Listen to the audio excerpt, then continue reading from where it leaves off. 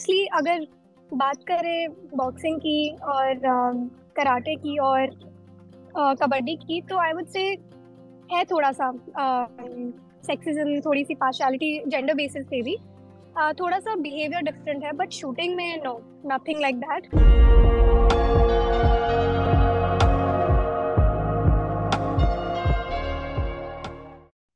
Hi everyone, I am Manu Bhakar and uh, I'm a shooter. I represent India at various levels. Today I'm here with the health dot.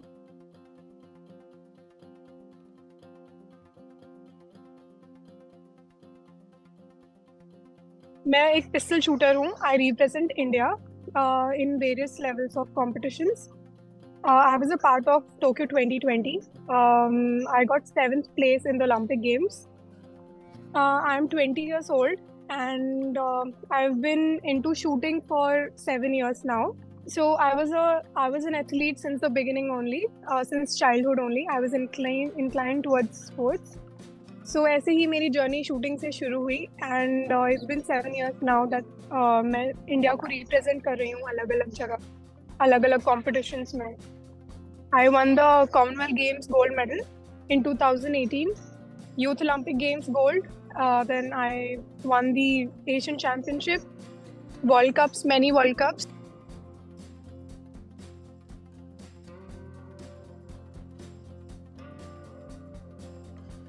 I just um, graduated from Lady Shri Ram College, University, with my political science degree, bachelor's, and uh, now I'm doing post graduation in public administration from DAV College, Chandigarh.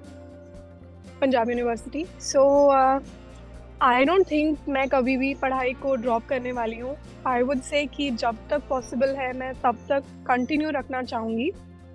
Uh, इसके बाद I would want to pursue maybe some business studies और something from a very good college so I am just hopeful कि कोई अच्छा college accept कर ले. Yeah, that's it. I would want to study for as long as possible, definitely.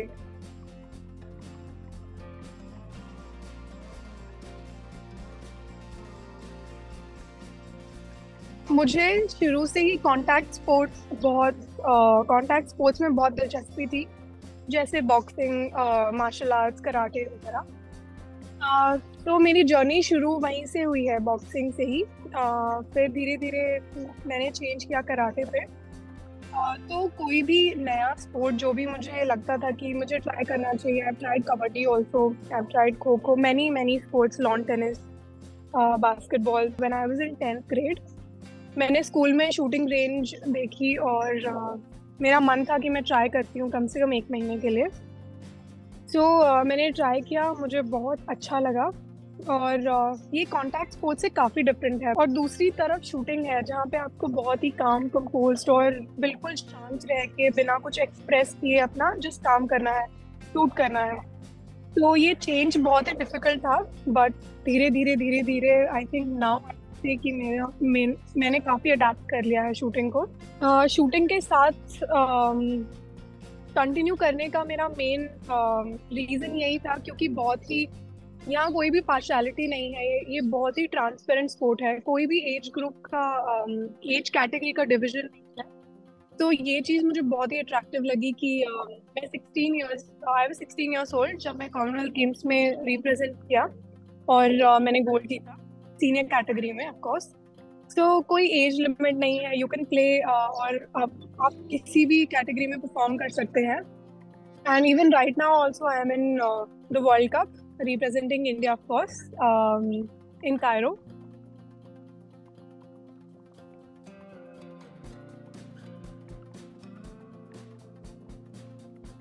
so so, uh, मैं बताना चाहूँगी आपको कि कभी भी मुझसे कोई पूछता है कि आप क्या करते हो आप कौन सा um, जैसे हम ट्रैक सूट्स में होते हो तो आप कौन सा गेम खेलते हो या फिर क्या करते हो जनरली तो uh, मैं उनको बताती हूँ कि मैं शूटिंग करती हूँ। तो उनको लगता है कि मैं किसी uh, video shooting film shooting या मूवी वगैरह का कुछ शूटिंग uh, की बात कर रही हूँ।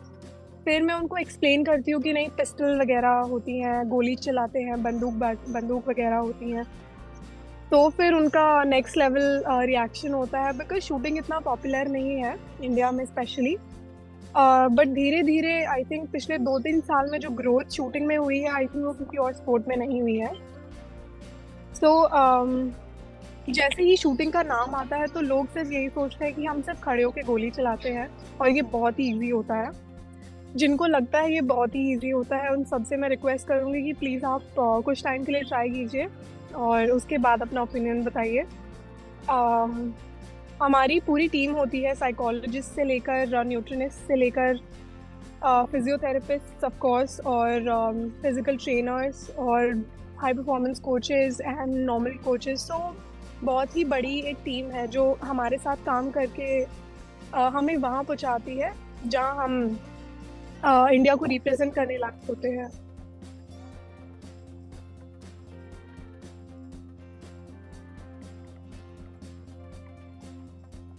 ऑनेस्टली अगर बात करें बॉक्सिंग की और कराटे की और कबड्डी की तो आई वुड से है थोड़ा सा सेक्सिज्म थोड़ी सी पार्शलिटी जेंडर बेसिस पे भी। थोड़ा सा बिहेवियर डिफरेंट है बट शूटिंग में नो नथिंग लाइक दैट हम पूरा टीम में बहुत ही मिलजुल करते हैं। और ऐसा कोई भी फैक्टर मुझे अभी तक नहीं लगा कि कोई फेडरेशन की तरफ़ से या फिर कोई भी कहीं किसी भी तरफ़ से। तो आई वुड से जेंडर का कोई भी पार्शलिटी शूटिंग में बिल्कुल नहीं है।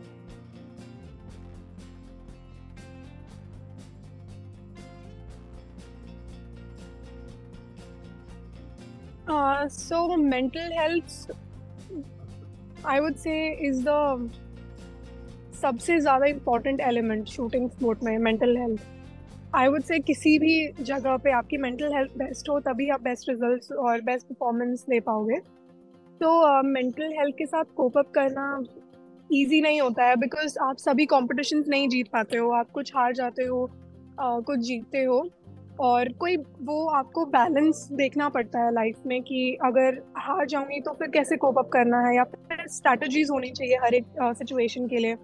अगर जीतूँगी तो आ, कैसे मुझे कोप अप करना है? क्या क्या चीज़ें हैं जो मुझे करनी है?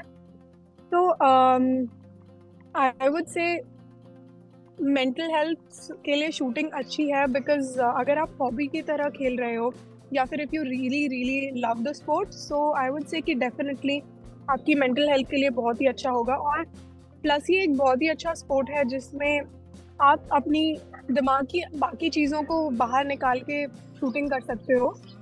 बिकॉज़ इसमें दिमाग की इतनी ज़रूरत होती है कि और कुछ आपके ख्याल में आएगा ही नहीं।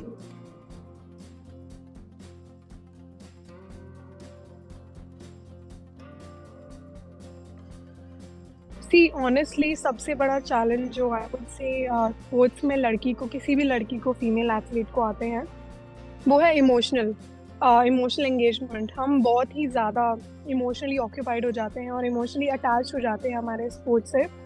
जो कि एट um, पॉइंट्स बहुत अनहेल्दी होता है बहुत टॉक्सिक भी हो सकता है because as we all know कि हम सारे कॉम्पिटिशन जीत नहीं सकते हैं। कुछ होते हैं जो, जो हारते हैं कुछ होते हैं जो बहुत अच्छे से जीतते हैं और कुछ होते हैं जो हम मीडियम में ही रह जाते हैं।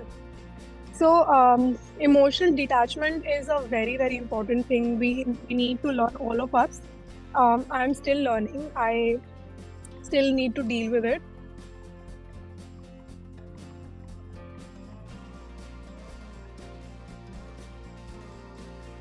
definitely I am very very thankful कि मेरे पेरेंट्स का सपोर्ट शुरू से ही।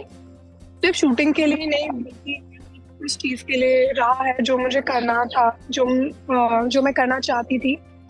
चाहे बॉक्सिंग हो, चाहे डांसिंग हो, चाहे कोई भी एक्टिविटी हो। तो पेरेंट्स का सपोर्ट होना एक मेजर मेजर एलिमेंट होता है परफॉर्मेंस के लिए या फिर आपके वेलबींग के लिए, आपकी मेंटल हेल्थ के लिए और आपके कॉन्फिडेंस के लिए।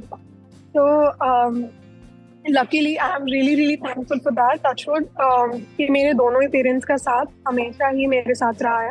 And it helps actually does because हम मेंटली काफ़ी फ्री हो जाते हैं। Uh, इधर उधर की कोई टेंशन नहीं लेनी पड़ती है। कोई भी फॉर्मेलिटी um, होती है डॉक्यूमेंट वर्क होता है वो सब कर देते हैं।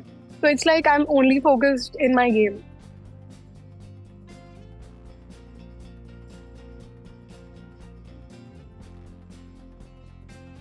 मेरा मैसेज सभी फीमेल सभी विमेन के लिए ये है कि डोंट सेटल फॉर लेस थोड़ा सा अनईजी होगा थोड़े से चैलेंजेस ज़्यादा होंगे थोड़ा सा मुश्किल होगा बट अगर आप जो भी चीज़ आप परस्यू करना चाहते हैं, उसमें थोड़ा सा ज़्यादा एक्स्ट्रा करेंगे तो आई वुड से आपको किसी पे कभी डिपेंड होने की ज़रूरत नहीं पड़ेगी you will be empowered and decisions किसी, कोई और नहीं लेगा आपके लिए।